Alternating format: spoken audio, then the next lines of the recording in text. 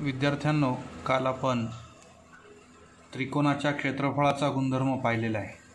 आज त्याच्यावरची उदाहरणं पाहूया. यामध्ये पहिलं उदाहरण आहे आकृतीमध्ये दिलेल्या माहितीवरून एरिया त्रिकोण ए बी सी छेद एरिया त्रिकोण पी क्यू आर बरोबर किती? आकृतीमध्ये दिलेला आहे त्रिकोण ए बी सीमध्ये ए डीची लांबी चार आणि बी सीची लांबी सात.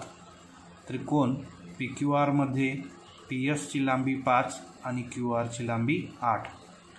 उत्तर थोडंसं मी इथं लिहिलेलं आहे सुरुवातीलाच.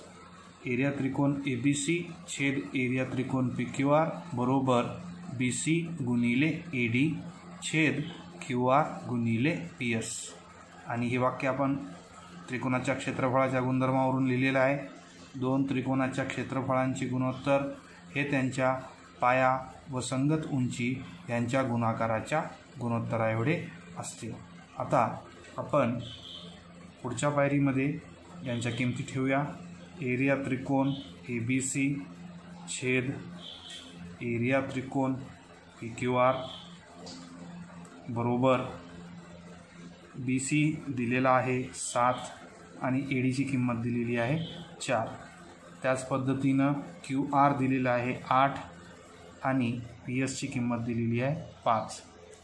हा गुणाकार सात चौक अठ्ठावीस छेद अठरा चाळीस. आणि याचं संक्षिप्त रूप होईल. चारनं भाग जाईल या ठिकाणी.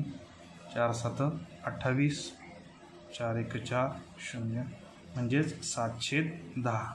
म्हणून एरिया त्रिकोण ए बी सी छेद एरिया त्रिकोण पी क्यू आर बरोबर सातशे दहा हे आपलं या उदाहरणाचं उत्तर येईल.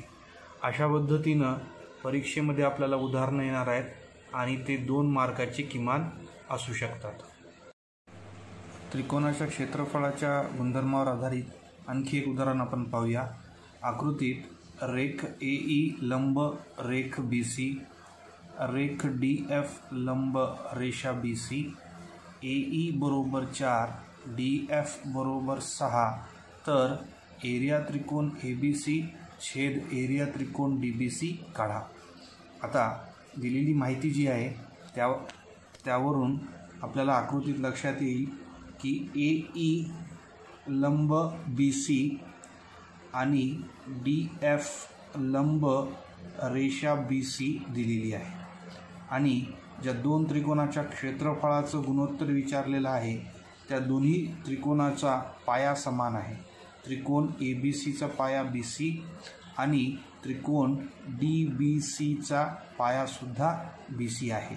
म्हणजे हे दोन त्रिकोण एरिया त्रिकोण ए बी सी छेद एरिया त्रिकोण डी बी सी दिलेले आहेत ते समान पाया असणारे त्रिकोण आहेत. मग उत्तरामध्ये येईल.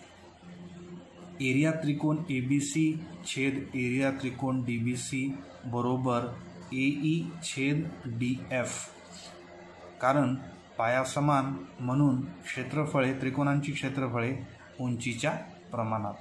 आता ए ईची किंमत दिलेली आहे चार आणि डी एफची किंमत दिलेली आहे सहा.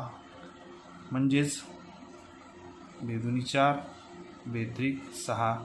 म्हणजेच एरिया त्रिकोण ए बी सी छेद एरिया त्रिकोण डी बी सी समान पाया असणारे दोन त्रिकोण त्यांच्या क्षेत्रफळांचं गुणोत्तर त्यांच्या संगत उंचीच्या प्रमाणात म्हणजेच या ठिकाणी या उदाहरणात छेद तीन हे याचं उत्तर आहे. आता इथं आपण तिसरं आणि आखरी उदाहरण पाहणार आहोत. यामध्ये आकृतीत त्रिकोण ए बी सीच्या ए सी या बाजूवर डी बिंदू असा आहे की ए सी बरोबर सोळा डी सी बरोबर नऊ बी पी लंब ए सी तर एरिया त्रिकोण ए बी डी छेद एरिया त्रिकोण ए बी सी काढा. आता इथं त्रिकोण ए बी सीच्या बाजू ए सीवर डी बिंदू असा दिलेला आहे की ए सीची पूर्ण लांबी आहे सोळा आणि डी सीची लांबी आहे नऊ. आता पहा ज्या दोन त्रिकोणाचं इथं क्षेत्रफळाचं गुणोत्तर काढायला सांगितलेलं आहे ए बी डी आणि ए बी सी ह्या दोन्ही त्रिकोणांची उंची या आकृतीमध्ये आपल्या लक्षात येत आहे की ती समान आहे. पहा त्रिकोण ए बी डीची उंची आहे बी पी जी या एडिया पायाला लंब आहे. आणि त्रिकोण ए बी सीची सुद्धा उंची ही बी पी हीच आहे. म्हणजे हे दोन त्रिकोण समान उंचीचे त्रिकोण आहेत. आणि गुणधर्मामध्ये आपल्याला माहिती आहे की समान उंचीच्या त्रिकोणाचे क्षेत्रफळ हे त्यांच्या संगत पायांच्या गुणोत्तरा एवढे असते. पहिल्यांदा आपण एडी काढू. उत्तरामध्ये ए सी सोळा दिलेला आहे. डी सी नऊ आहे. म्हणून एडी बरोबर ए सी वजा डी सी म्हणजे सोळा वजा नऊ बरोबर सात. ए डीची किंमत सात आलेली आहे.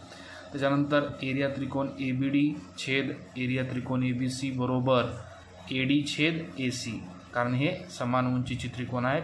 म्हणून यांचं गुणोत्तर संगत पायांच्या गुणोत्तरा इतकं आहे.